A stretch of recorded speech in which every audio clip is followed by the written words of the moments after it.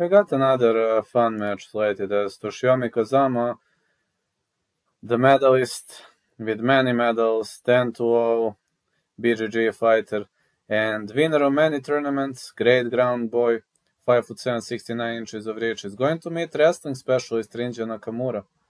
This is a great fight. Toshiomi Kazama, 10 to 0, he defeated Hiremoeli Maimato or Heti, I don't know to pronounce his name.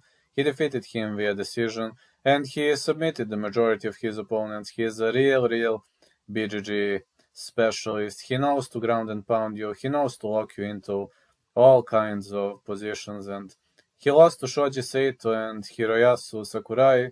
But Rinya Nakamura is a wrestling phenomenon. The Rinya Nakamura is 27 years old, 5 foot 7, 68 inches of reach, and he is top control specialist with excellent performance against against Shohei Nose Gugun Gusman.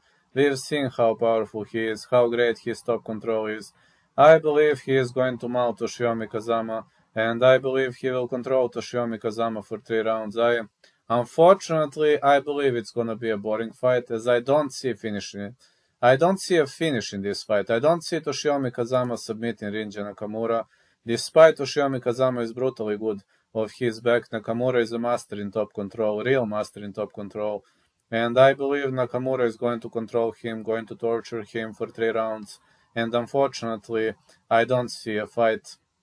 I don't see this fight uh, not going the distance. I simply don't. Rinya Nakamura is probably going to win. He is my favorite for the victory. And if you ask me about method, um, I don't know. I see Rinya Nakamura decision. I'm to go with over 2.5 for this one.